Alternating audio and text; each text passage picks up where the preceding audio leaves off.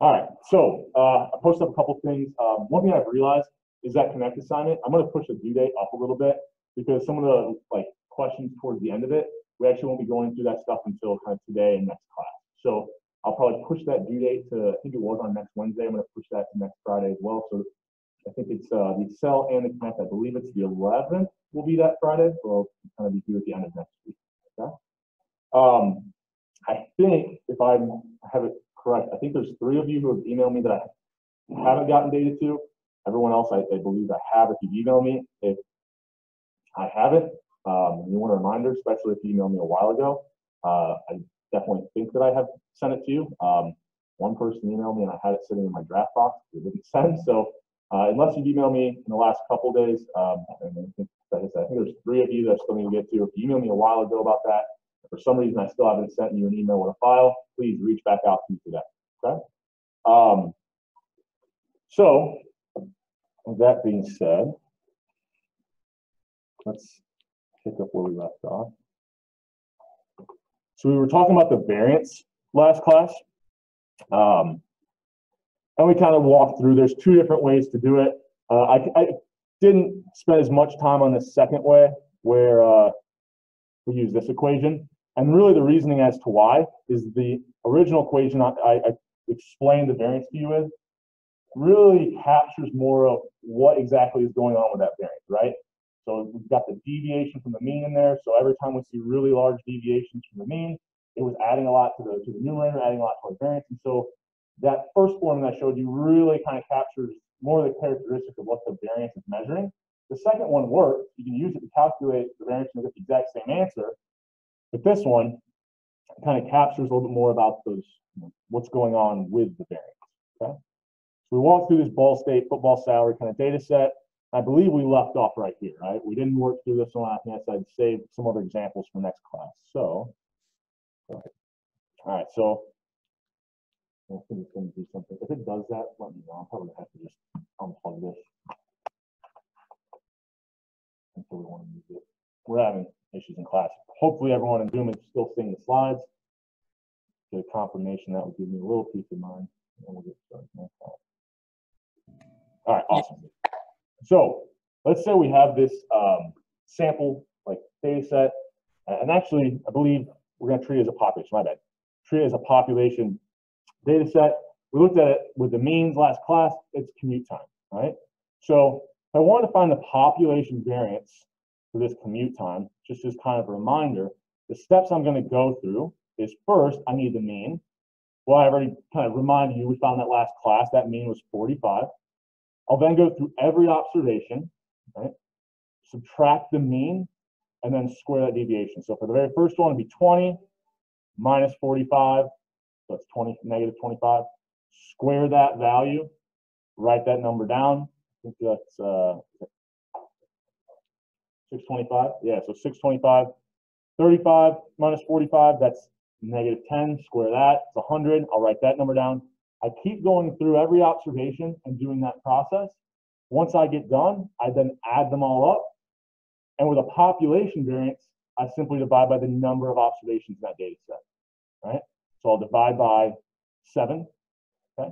Now, if I just look at this, I don't think I mentioned this last class. What's the lowest possible variance you could ever see?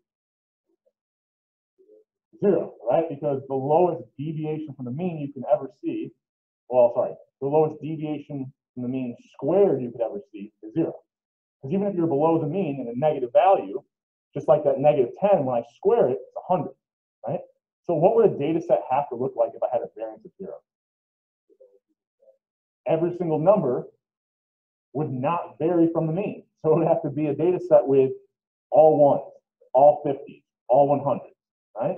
Now, obviously, this data set we have here is not all the same value, so we automatically know that zero can't be the variance, right? But if we go through this process, right, I square those deviations, add them all up, I'll get 2,900. I then divide by the total number of observations in that data set, and I'll get that population variance of 414. Now, for some reason, right, I look at this and I thought I had every single employee, and someone comes back and goes, no, no, no, this is just like one division. You know, there's a ton more employees with commute times here. This is just sample data. This is just sample data. What's the only thing that I have to change? So there's one key difference between the population and sample variance. And I kind of glossed over the reason why, but I said for now, just know that it's the case. For the population variance, we divided by n, the number of observations. And the sample variance, we divided by n minus 1, right? And this is kind of accounting for the fact that there's some bias in our sample variance, and so we're trying to correct for it. We'll talk more about that when we get to things like interval, um, confidence intervals and hypothesis testing. But for now, we just need to know that there is that difference. We need to account for the bias. And so if this was sample data, this doesn't, uh, the process of finding the variance doesn't change at all up to this point. The only thing that changes, instead of dividing by seven, we'd be dividing by six, right? So if I divide by a smaller number, what's gonna happen to my variance here? It's gonna go up. So if I look at a question like this, same data set, but I said, saying, instead now, I incorrectly identified it as a population data set, and now I'm correctly identifying it. This is actually just sample data. I know that if before the variance I found was 414, the new answer has to be higher. The only option here that makes any sense is 483. Right? If I was like asking this like an online quiz question or something. But I can go ahead. The notation changes because I'm using the sample mean instead of the population mean, but the process doesn't change at all. I still square those deviations from the mean, add them all up, but now instead of dividing by n, I divide by, excuse me, n minus 1. Yeah. Yeah, so I'll give you, uh, it, so we could go with a long discussion with this, but the idea is if I only have sample data, that sample variance will always be an inaccurate measure of what the actual population variance is. There's always a bias built into it because think about this way. Um, if I had, even if I correctly captured the variance with a sample data set, I'm going to have more observations that are further from the mean. So they're going to be adding, like, let's say I had half the observations, there'd be twice as many values being added into that numerator. So there's always going to be a bias that's built in to that sample variance and subtracting or dividing by n minus 1 instead of n tries to correct for that bias, right? Like I said, we'll talk a little bit more about that once we get to using these sample means to get an idea about what the population mean is. But for now, we just know that there's there's some difference there. Hopefully that kind of kind of gives you well. All right, that's a good question. I'm sorry, the question there was why do we divide by n minus 1? Hopefully on, on Zoom you kind of could have figured that out. We were talking about that beforehand. I don't want to waste too much time on this. I just want to start to think about, we haven't looked at these nice continuous distributions. All we've done is looked at like histograms, right? And kind of said if I tried to trace out what the, the continuous distribution would look like, what would it look like? But remember, when we did those histograms, one thing we could have used on the y-axis was the relative frequency. And that really just told us the proportion of our observations that we saw at different values, okay? So what this is trying to display is each one of these different distributions is a different color, and they all have different standard deviations or they have different variances, right? We said the standard deviation, how do I get that from the variance? Just the, I remember. Yeah, just the square root, right? So they're, they're the same, they're just, you know, scaling that a little bit, right? So if I had all these distributions and they all have the same mean, and that mean is zero, okay? So the distribution with the lowest variance or the lowest standard deviation, that means that there's not much variation in the data. So if the mean is zero and there's not much variation in the data, most of the values I see in that data set would be right around that mean of zero. So when I look at the values right around that mean of zero, there's a high relative frequency that I'm seeing those out, right? They're going to have a high relative frequency. And then values that start to get further away, from that mean of zero.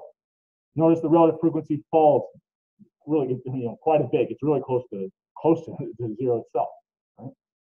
Now, as my variance goes up, what that's going to mean is there's more variation in my data set. So now the values close to the mean will be less likely for me to see, and values further from the mean will be more likely for me to see. Right? So when I get to that highest variance or highest standard deviation here, Notice the relative frequency of the values near the mean has fallen quite a bit. And the values that are further from the mean here has gone up quite a bit. Right? So we can start to think about that variance or standard deviation is going to change the way our distribution looks. And I'll, I'll revisit this slide. Actually, I think I have the exact same slide that we'll look at probably about, a, actually probably like three or four weeks, quite a ways out. But I just want to start introducing these ideas now about what the variance does, kind of how it fits with these different distributions of data that we'll see. And then what would the mean do? I didn't don't have a picture of it here, but if I had a mean that was higher, but the variance of those two data sets were the same, a higher mean is just going to shift my distribution, right? It's going to shift to the right or to the left, depending on if it's higher or lower. Okay. Any questions on, on that before we keep moving? Double check here. All right, we're good. All right. So I'll show you this pretty quick. Um, in Excel, how to do this. I've got a slide that kind of tells you how to do this, but if we had um, some data and wanted to find the minimum, maximum, maybe calculate some variances, we've seen how to do it by hand now. And in. We've seen it by hand, but I'll show you it's a lot easier to do in Excel, right? So one thing I'll show you, I think I did in Excel before, is you can add columns. So if you just click on a column and then right click on it and then insert, you can put in a couple columns without any of these cell references that we had done before, like updating or anything, right? It like, or sorry, it automatically would kind of like update or like move those without changing the cell references. So let's say we want to find the mean, the median, and the mode. Pretty easy. So if we have the mean, that's just the average function right? Be pretty, pretty simple to find that. So we just control shift or on a Mac command shift, hit that down arrow and then hit enter, okay? We want to do the median, it's just equal sign median. Go over, select that very first cell, control shift, command shift on a Mac, hit the down arrow, hit enter, okay? What do you think the mode function probably is? Just mode, right? It's pretty easy. Select the range of data that you want. We've got the mean, the median, and what probably went wrong with the mode here. We've got 50 states. The mode would be the number of deaths in a state that happens most often. What do you think is probably true about this, these observations? They're all unique, right? So the mode, when you've got a small data set with some unique values, um, might not be able to get something. But if we had something that here, I'll just, for the sake, show you. Right? If I did have something that repeated, it would find it for me. So those are our three functions there. Um, the variance and standard deviation.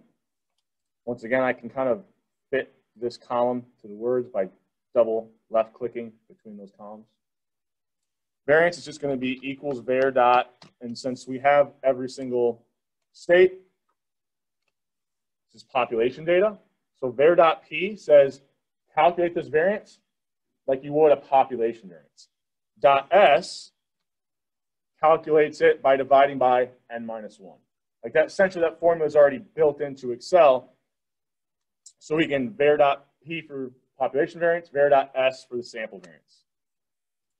We then select the values that we want to find the variance of, control shift or command on a Mac down arrow, hit enter, and sure enough, we've got the variance calculated for us, right? And that's a lot easier than doing all this by hand. Right? A lot easier. Okay? Standard deviation, we could just do what to the variance? Take the square root, the square root uh, formula in Excel, and we'll be using this in other, you know, along the length of this course. So SQRT is how we take a square root. I click on the cell that has the variance there, and it finds a standard deviation. I could also use stdev.p, right? So population standard deviation, select my data, and notice I get the exact same answer, right? Two ways of doing the same thing. So that's not too bad. I think it's pretty easy. but for these common, you know, descriptive statistics, we've got to do this in Excel really quickly, right? And as we get closer to the exams, I think it's like, I, it's important you know how to do things by hand. Um, I would suggest as you're doing the connect problems, work through those by hand, don't use Excel. But once we get to the exam, if you're able to do things in Excel relatively quickly and you've mastered that, you've put the time into that, well, I'm okay with that. So you know, if you want to have Excel open while you're working on your uh, your test to use it, that, that's fine, right? I'm not going to give you Excel files like you'd have to like put the numbers in there yourself and then use some of these functions. But to me, it's like, well, a calculator and Excel are both tools to make life easier, right? And so if you want to get good and master Excel, this will be a tool that you have available on those uh, on those exams as well. Okay. Any questions over any of that? It's pretty easy. So now, what I wanted to get get through today, which we probably won't get through all of it now, um, was discussing some weighted mean stuff. Okay. So these are going to be some of the last couple problems you probably see on um, the Connect, and uh, it's a little bit different than what we were doing with regular means. Okay. So all the data I, have shown you up to this point um, had like one, every number represented one observation, right? Now the problem is that's not always the case, right? So before, we were able to give things equal weight, right? Because when we divide by n,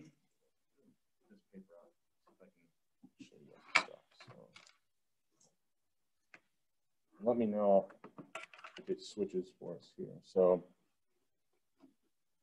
Let's go. I see it's not picking up the Elmo thing. That's what I was oh, worried about. Unless this is what they're calling the integrated camera, but I don't think it is. No, so you guys on Zoom aren't seeing anything. All right. Uh, can I do this? This is why I was using my laptop because I don't think this will pop up for me now. It'll only pop up in class. Yeah. All right. Um, so let's go back here. And I'm going to try to use this, even though I'm not good at drawing with this. All right. So um, before we were doing, right, when we took the sum, this is why I try to use how I think because I can't write very well. Right? When we were finding the mean before, we were taking the sum of the x's and dividing it by n. Right? Another way to think about that was we were taking every single observation, adding them up, and dividing by n, right? But what I could then do is just everything divided by n, I could rewrite that so it would be x1 over n plus x2 divided by n all the way, you know, to whatever my last number is. So essentially, I'm weighting everything by 1 over n. So every observation is being weighted the same. Instead, with weighted means, we'll have each observation we see, it's grouped data. So I might see, um, for example, if I'm looking at average income, I might be able to go out and find average income for um, different age groups, right? But I don't have the original income uh, data that has every single person as an individual observation. It's grouped into, I can see the average income for 20 to 30 year olds is $50,000. The average income for 40 to 50 year olds is $50,000, right? That value for income represents a lot more than just one person. There was like an original data set that did have every single person, but I only have the data grouped into some type of a group, right? So we're going to have to use weights in order to get a weighted mean because you think about um, the example I always give is, let's say uh, I looked at the average um, sales in uh, fast food sales for McDonald's, well, that represents a lot of stores. If I then look at well, what's the average fast food sales for Berkey's, they only have like one, right? And so if I want to find the overall average sales across all fast food places, well, I shouldn't be treating that average that represents Berkey's the same as the average that represents every single McDonald's store, right? I want to weight that McDonald's one by however many McDonald's there are, right? So this is the idea behind weighted means. So if we, if we, you know, if we have group data and we can't give equal weighting, what do we do? Hey, this is a McDonald's example. We're going to essentially have to come up with something that we can weight the observations we see by. So these weights, W, are going to be usually some type of frequency, like some type of count, right? The number of McDonald's, right? Or the, you know, the number of students in that class. If all I see is the average grade in that class, the number of students in that class would be my weight. Right? So what we'll do is we'll take these weights for every single observation we see, and we'll multiply that weight by whatever the value we see for the variable we're interested in is. So if I have um, the income age you know, example, I'll take the number of people between 20 and 30, multiply that by the average income I see for 20 to 30 year olds. Do that for every age group, add them all up, and then divide by the sum of those weights. So the sum of the weights in my example would just be the number of people in the US that have some income, right?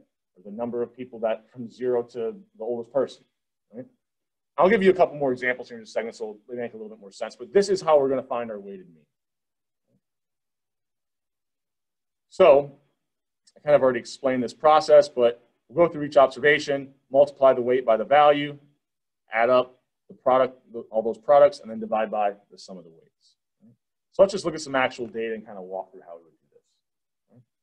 So here I do have um, average income in the US. You can go to the US Census, and they report this, but they, oops, they only report it by, you can break it down by race, region of the country, gender. You can break it down by certain things, but you can't see the actual original income data that has Jane Doe um, made $30,000, her demographic, you know, whatever race she is. You can't see that. So we've got this grouped data, and I can see here, obviously, kind of one of the reasons why I use race here is, well, we have a very different proportions of the population for each one of these racial groups, right? There's way more white individuals in the original data than there are from our other kind of minority groups. Right? So we've got this mean income. This 59,000 represents 73,000 people, while this 60,000 only represents 6,000 people. Right? So this shouldn't be having as much weight when we're calculating the weighted mean as this value does, right, the 59,000.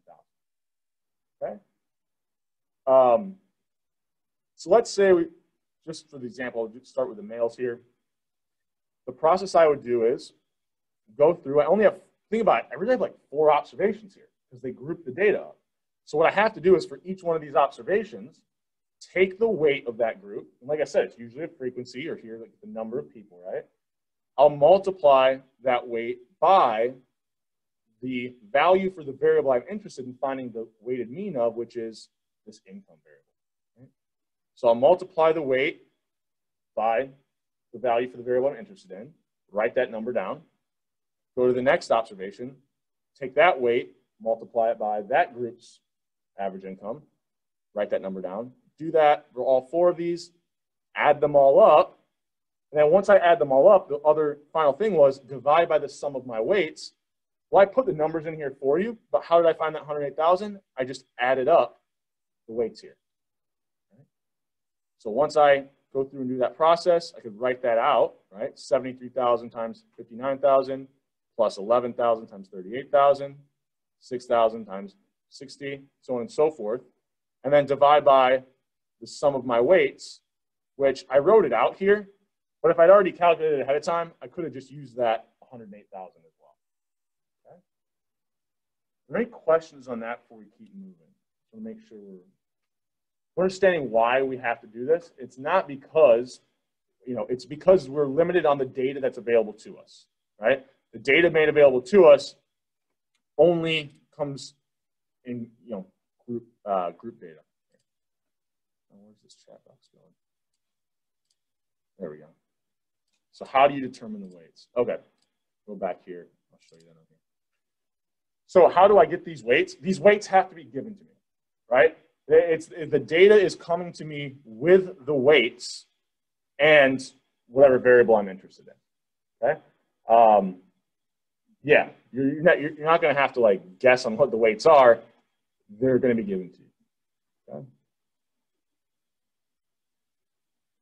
Any other questions on that before we keep moving? Okay, so we could do the exact same thing for females here and find their weighted mean. Actually, I would suggest maybe just for practice, you could actually do that. Um, it'd be the exact same process, 75,000 times 34,000 plus 14,000, you know, et cetera, et cetera. Then divide by the total number of women that we have over here. You should be able to get that answer of 32,000. Saw I have a couple questions on the chat. So give me a second. Are the male and female categories considered separate? Yeah, so think about it this way. Um, I put them all in the same table, but really this, the male income data is like one data set and the female income data is like another. Now, if we wanted to find the weighted mean income across both genders, and I only have the data reported to me in this way, what would I do then? So essentially, if I wanted to find, here I was just finding the mean income for males. I could do the same thing and find the mean income for females. What if I wanted the mean income for everyone, regardless of gender? It's the same process, it's just now I have more groups. I go through, I have the frequency of white males times their average income, frequency of black males times their average income, add that, add that, and then I add in the frequency of white females times their income, so on and so forth. And now the sum of my weights would be the sum of this plus the sum of these. Right? So that's, that was a good question. Um, but here I'm treating it more so as these are like two different things we want to find. Average male income, average female income. Okay? Now, that was a good question. Um, you can sadly see there's a, there's a stark difference here, right? Um, we could break this down by region as well. So one thing that I, I want to get, one point I want to get across is we're using these weights, right? Because if I have more of a certain group in the data, I want to make sure that their value is impacting that, that mean more. So if I look at this, and I look at this instead by region of the country, which one, and it doesn't matter if we look at males or females here, which one of these regions is going to influence the weighted mean the most? Yeah, it's just going to be one that has the highest weight or the highest frequency or the highest number of people in it here. So clearly the South is quite a bit larger than these other three regions. And so that 35,000 is going to influence that weighted mean a lot more. So I'll give you another example, really easy example. If I invested, a so let's say I invested in a stock and its return was 100% but I only invested $1. Right? And then I have another stock that I invested in, and it returns negative 10%, but I invested $100,000 in that stock. Well, in that example, my weights is the amount of money I invested. And if I want to know what my average return was, well, then I have to figure out, like, I've got, you know, 100% and negative 10, but my weights are how much money I invested because that negative 10 is going to impact my portfolio's return a lot more because I invested $100,000 in it as opposed to, what did I say, $1 into the, the one that returned 100, right? And that's this, this idea. Whatever has that higher weight is going to influence that weighted mean more. And here we can see that would be kind of the south. So the weighted mean is going to be a lot closer to 35 than it would be to 37,000 up here, right? Because these just aren't going to have as much of an impact. That make sense? Okay. Now you might be able to start to envision um, really what's going on behind the scenes with this equation is that I could use this formula, but maybe the stock price one makes a little, or the stock return makes a little more sense. What could I also do? I could actually, since I'm dividing by this, what I could pull out for each observation, I wrote all this out. So once again, this is going to be atrocious because I cannot write with a mouse. Um, let's say I had $50 in um, one stock and I had, I don't know, 100 in the other. And it doesn't really matter what the returns are here. So maybe this return was like 11%, and this return was, I don't know, 18. What I'm really doing is I'm adding those together and then dividing by the sum of the weights, which is 150. What I could do is notice this would just be the proportion of money I invested in the second stock, and 50 over 150 would be the proportion of money I invested in the other stock. So I could almost make my weights proportions and then kind of get rid of my denominator there. Like that's really what's going on in that formula. But just like procedurally, it's usually a lot easier. Kind to add all these up and then at the very end divide by the sum of the weights. Okay? All right, so I have no idea. I, I will try to get, um, I think Friday we'll pick up where we left off here. Um, hopefully I'll figure out why this, this computer stopped working for us. Um, but if you have any questions over anything we talked about today, uh, we'll continue to do some weighted mean stuff on Friday. And I'll for sure push that Connect assignment up now since we didn't get to cover as much material today in class. Okay? All right, we'll see you guys on Friday or so see some of you on uh, Monday who are here today in person.